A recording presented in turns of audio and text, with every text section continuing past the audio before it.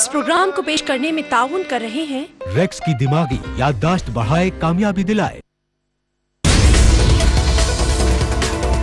हुकूक इस्लाम ने औरत को क्या क्या दिए हैं? जब अ, इस्लाम का पैगाम आया जब हमारे नबी सल्लल्लाहु अलैहि वसल्लम हमारे प्यारे नबी जब इस्लाम का पैगाम लाए तो उस वक्त एक इनकलाब आ गया था। घिनौना गुनाह होता है कि एबॉर्शंस हो जाती हैं।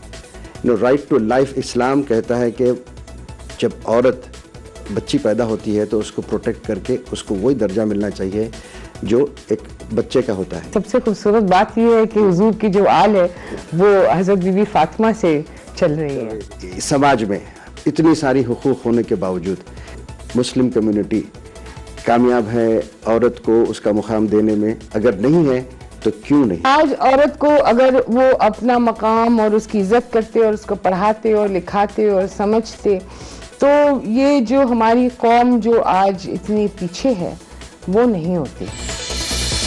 हम बदलेंगे देश बदलेगा। हर मंगल रात आठ बजे सिर्फ़ ई टीवी उर्दू पर।